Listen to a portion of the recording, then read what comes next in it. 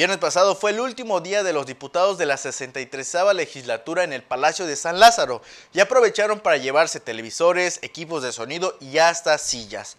La Cámara de Diputados les dio a los legisladores como fecha límite el 10 de agosto para sacar todas sus cosas de sus oficinas. Sin embargo, desde el 31 de julio comenzaron la mudanza en secreto.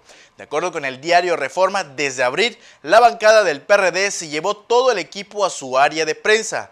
Dijeron que el equipo que se había comprado se le iba a donar al Comité Ejecutivo Nacional del PRD, comentó uno de los empleados. Tanto los legisladores del PAN y del Partido Verde dejaron vacíos los 60 campers de lujo en los que se había mudado cuando el sismo del 16 de septiembre los dejó sin oficinas.